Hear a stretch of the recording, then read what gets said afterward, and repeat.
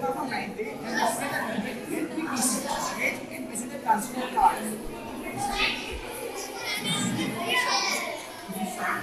card.